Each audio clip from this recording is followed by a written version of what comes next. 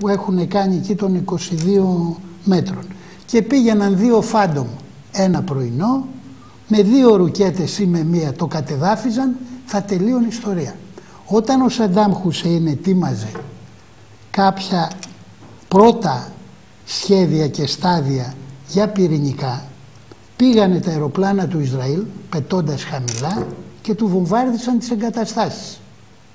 Το ίδιο λοιπόν δυναμικά πρέπει να αντιδράσουμε και εμείς. Δεν είμαστε φιλοπόλεμοι. Δεν είμαστε αγρίκοι. Δεν είμαστε αριμάνοι. Αλλά πρέπει τέλος πάντων κάποια στιγμή να υπερασπιστούμε τα δίκαια αυτής της χώρας. Εκτός αν έχουμε απαρνηθεί τον πατριωτισμό μας, την αγάπη προς αυτή τη γη, προς αυτή την ιστορία και προς αυτή την Ελλάδα. Κάποτε πρέπει να το αντιληφθούμε. Οι Σκοπιανοί ήδη ρίζωσαν. Λέγονται Μακεδόνες έξω. Και αυτού του είδους οι συμβουλές μαζεύονται για να μας συμβουλεύσουν πρώην στρατηγοί, διπλωμάτες, επιχειρηματίες κλπ. Είναι συμβουλές εκεί που περνάνε.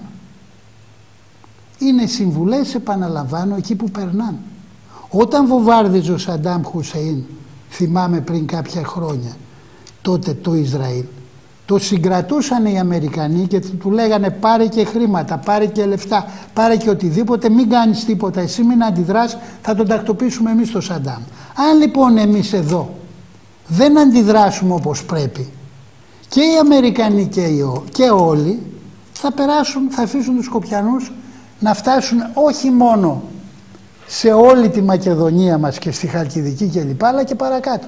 Σας είπα ότι προχθές σε θάλασσα, σε παραλία της Χαλκιδικής παίζανε τουρίστες Σκοπιανοί βουτούσαν στη θάλασσα και φωνάζαν Αλεξάνδερ Μακεδόνσκι. Τελεία και παύλα. Κύριε Παπαδόπουλε.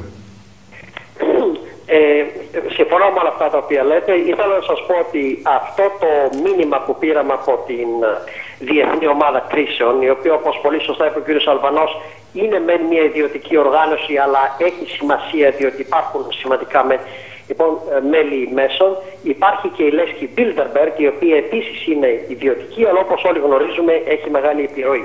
Λοιπόν, να προσέχετε πολύ αυτές τις λέσκες, διότι πίσω από τις συμβουλές των λεσχών υπάρχουν πολύ μεγάλα συμφέροντα και πολύ μεγάλες επιρροές. Αλλά το σημαντικότερο μήνυμα το οποίο δίνω εγώ σήμερα είναι πόσο τεράστιο είναι το σφάλμα της ελληνικής εξωτερικής πολιτικής όλα αυτά τα χρόνια, τα οποία δεν ξεκίνησαν τις διαπραγματεύσεις λέγοντας πρώτος όρος θα είναι η αλλαγή του συνταγματικού σας ονόματος. Εάν δεν συμφωνήσετε ότι θα αλλάξει το συνταγματικό σας όνομα και θα εξαφανιστεί παγκοσμίως το όνομα Δημοκρατία της Μακεδονίας, δεν υπάρχει λόγος να συζητούμε για το ποιο θα είναι αυτό το όνομα. Δηλαδή, πρώτα έπρεπε να λυθεί το έργα όμνες και μετά να αρχίσουμε να διαπραγματευόμαστε ποια ονομασία θα αντικαταστήσει το συνταγματικό τους όνομα ήταν το πρώτο βήμα. Και αντί το πρώτο βήμα το έχουμε βάλει σε μία παρένθεση και λέμε έργα όμνες και όταν εμείς οι ταλέποροι γραφικοί ομογενείς πιο Έλληνες από τους Έλληνες κτλ. Ρωτάμε το Ελληνικό Υπουργείο Εξωτερικών γιατί δεν λέτε ότι έργα όμνες σημαίνει υποχρεωτικά αλλαγή του συνταγματικού του ονόματος και πλήρης εξάλληψης διεθνώς εντός εκτός και επί τα αυτά του όρου Δημοκρατίας Μακεδονίας κοφεύουν και δεν μας απαντούν και μας λένε να αγοράσουμε ομόλογα. Καταλάβατε; Λοιπόν, αυτό ήθελα να σας πω ότι το έργο όμνε, αλλαγή του συνταγματικού του ονόματο, πρέπει να είναι το πρώτο και σημαντικότερος όρος πριν υπάρξει οποιαδήποτε άλλη συζήτηση. Ναι. Μια ελαφρά διόρθωση. Το έργα όμνες είναι λατινικός νομικός όρος και σημαίνει κατά παντός, έναντι παντός.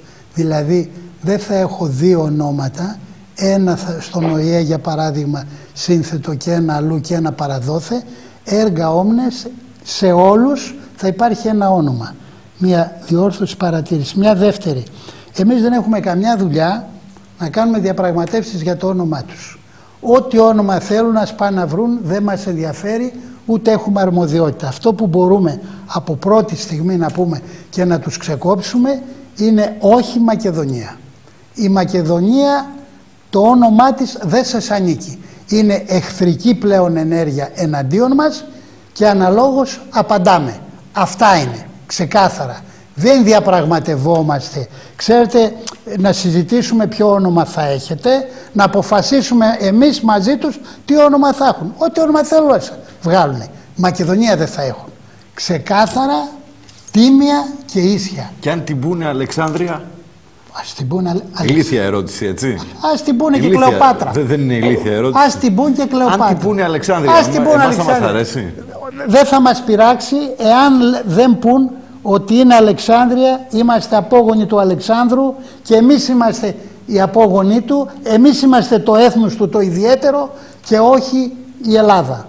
Μας ενδιαφέρει η διαστρέβλωση της αλήθειας όταν θίγει τα εθνικά μας συμφέροντα. Το να διαστρεβλώνουν την αλήθεια, για παράδειγμα, και να λένε στα παιδιά τους να διδάσκουν ότι στη σελήνη καλλιεργείται πατάτα, είναι δικαίωμά τους. Αλλά κάθε τι που θα πλήττει την Ελλάδα και τα συμφέροντά μας τα εθνικά πρέπει να μας έχει απέναντι από την αρχή έργα όμνες και κάθετος. Θα δεις βέβαια, αν την πούνε Αλεξάνδρεια μετά θα βγάλουν και άλλη ιστορία. Βέβαια, μετά δεν Συμπληρωματική είναι. με αυτή που διδάσκονται τώρα. Ξέρετε πώς ε, λέγεται η ιστορία που διδάσκονται στην αντίστοιχη σχολή Ευελπίδων ε, των Σκοπίων, κύριε Παπαδόπουλε. Στην στρατιωτική τους Ακαδημία. Ναι, λέγεται ένδοξη ιστορία 20 αιώνων. Ναι. Το αντιλαμβάνεστε; Ακριβώς. Το διανοείστε αυτό που ναι, σα λέω. Ναι, ναι, το βιβλίο της ιστορίας που διδάσκονται οι νέοι αξιωματικοί στη Σχολή Ευελπίδων των Σκοπίων έχει τίτλο Ένδοξη ιστορία 20 αιώνων. Τι άλλο να πεις δηλαδή. Σας λέω δηλαδή, έτσι και, πούνε ότι, έτσι και πούνε να ονομάσουν τη χώρα τους Αλεξάνδρεια, θα πούνε ότι Δημήτρης ο Μέγας Αλέξανδρος, ότι. Εάν καταλάβουν εδώ δεν είναι θέμα Αλεξάνδρου ή Αλεξάνδρειας ή Μακεδονίας.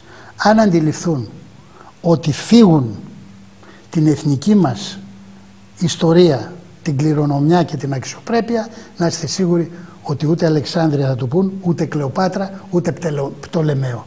Θα βρούνε την ονομασία τους και δεν μας νοιάζει. Έχει ονομασίες σλαβικές ένα σωρό να βρουν. Αλλά κάτω τα χέρια από την Ελλάδα είναι το μόνο πράγμα που δεν δικαιούνται. Διότι ήδη έχουν, και αυτό τους το δίνουμε, μια δημοκρατική, ένα πολύ καλό δημοκρατικό χάρτη. Σας το είπα και άλλη φορά. Το Σύνταγμα των Σκοπίων είναι φοβερά δημοκρατικό. Μπορεί αυτή τη στιγμή να τους λέμε και συγχωρέστε με τη φράση γυφτοσκοπιανούς, να είναι συνοθηλεύματο το ένα τ' άλλο, έχουν όμως ένα πολύ καλό σύνταγμα και αύριο μεθαύριο. Όταν σταθούν οικονομικά θα είναι ένα κράτος που θα διοικείται καλά. Αυτό λοιπόν το Σύνταγμα το Δημοκρατικό είναι κληρονομιά ελληνική. Εμείς δώσαμε τη δημοκρατία σε όλα τα συντάγματα. Mm -hmm. Χαλάλι τους. Ναι. Την, την ε, θρησκεία, την Ορθοδοξία που πήγανε οι δικοί μας Κύριλλος και Μεθόδιος. Χαλάλι τους. Αλλά όχι όμως να λένε ότι αυτή είναι η Μακεδονία, οι Έλληνες, είναι ξένοι, είναι κατακτητές και να έχουν το όνειρο να έχουν τη Μακεδονία μας με, σαν κράτος τους με πρωτεύουσα μάλιστα τη Θεσσαλονίκη ως εδώ και με παρέκει. Εκεί λοιπόν πρέπει να είμαστε κάθετοι, αποφασιστικοί, σοβαροί, ενωμένοι και όχι να μηδίζουμε, όχι να προδίδουμε την πατρίδα μας και όχι να εξυπηρετούμε ιδιοτέλειες και ξένα συμφέροντα. Εγώ θα έλεγα ότι η πρώτη αιτία είναι η ιδιοτέλεια. Ο ιδιοτελής θα εξυπηρετήσει ξένα συμφέροντα. Διότι είναι αρχομανής, θέλει να αρπάξει, να πάρει εξουσία, δύναμη, λεφτά. Ο ανιδιοτελής, ο πατριώτης, είναι ανεξάρτητος, αγαπάει την πατρίδα του, δεν εξυπηρετεί ξένα συμφέροντα και εργάζεται για την Ελλάδα.